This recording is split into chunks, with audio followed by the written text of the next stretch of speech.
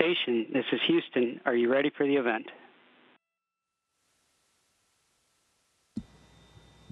Houston Station, ready for the event.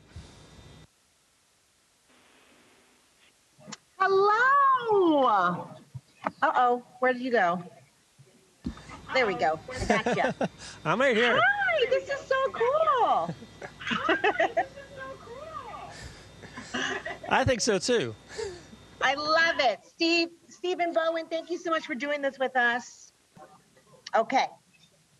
First things first, um, you know, uh, talk about how long you've been there. How has it been um, aboard the space station uh, thus far? I know you've done several, you know, space flights here, but talk about this one in particular that you're doing. Yeah, this this flight is very different from anything I'd done before. Uh, my three previous flights, you know, more than 10 years ago, they were all space shuttle flights, and they were only about, you know, 10 days to two weeks long on board space station. So we helped build the space station. Now getting the chance to live on board for six months, it's a totally different uh, experience.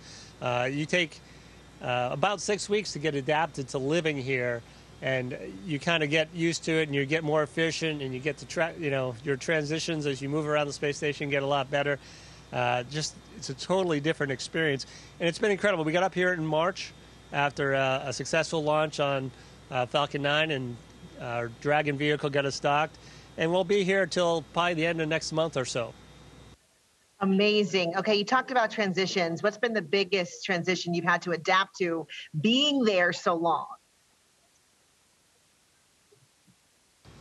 Um, pretty much the biggest transition to being here so long is myself and my body and understanding. And uh, as it gets more adapted uh, to living on space and everything that goes along with that, the, the lack of this microgravity environment we exist in, you know, because I can kind of just float around here and. Uh, but everything floats. So when you open up a bag or a locker, all the things float away, and you got to chase them down. And getting those skills and getting those habits established are really, really important, and that's a big part of our adaptation. I love that. Talk about a new normal. So, you know, we know you're from Cohasset. A lot of New Englanders watching, of course, wanting to see you um, and, talk about your experience and folks who are interested in going down this path as well. Um, talk about kind of your education experience and, and any ties from being in this area that maybe you're applying to where you are right now. Yeah, and uh, I really think it was a product of the, the time and the location. You know, I mean, uh, just uh, New England, Cohasset, the uh, I went to public schools, but the time period I was growing up, you know, NASA was in a very dynamic this, uh, process. We had Apollo, we had Skylab.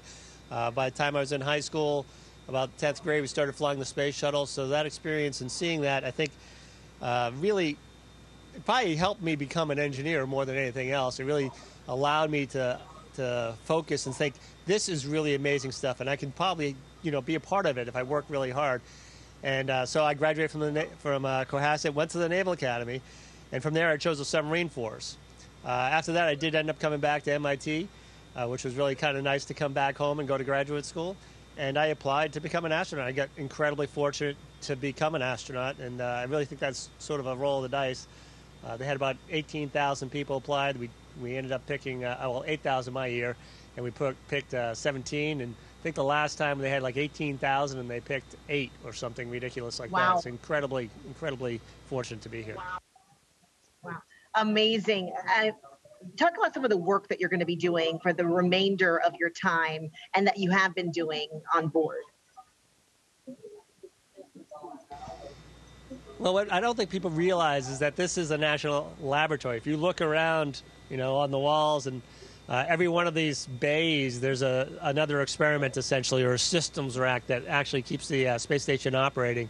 So uh, there's hundreds of experiments going on on board all the time. Some of which we do need to participate in and, and get our hands in and help process, and we spend time fixing the racks. But we also are part of the experiment. You know, understanding how the human body reacts in this microgravity environment and the long duration uh, experience in space is really a big part of the science that we are doing. Uh, we've done uh, modifications to the space station while we've been on board, and it's just a, it's an incredible national laboratory that's been continuously manned for tw- almost 23 years. It's it's absolutely amazing. Well, it's amazing talking to you and learning about the work that you're doing. Is there anything that you can share with us that maybe, you know, giving us a window into your world there on the ISS? What are some things that might surprise people uh, on board there and that you're discovering just being there for so long?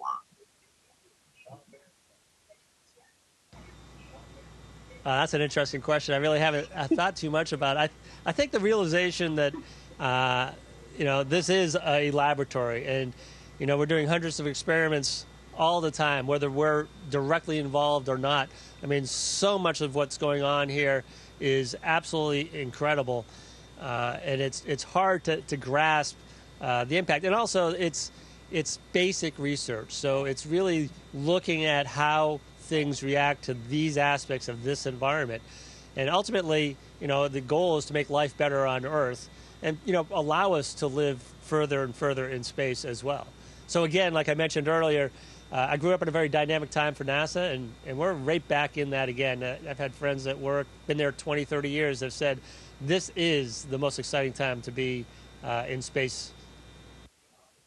Absolutely. I mean, what an honor to be a part of that and to be there and seeing you, a local guy uh, who's done amazing work and continuing to do amazing work. We really appreciate your time and sharing with us. Thank you.